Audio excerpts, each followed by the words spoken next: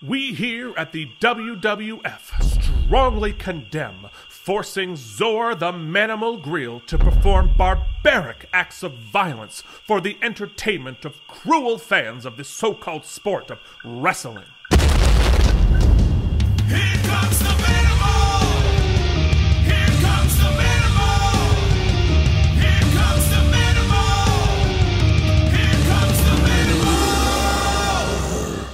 Shame on the sanctuary and all of those who would exploit innocent manimals for your heartless pleasure.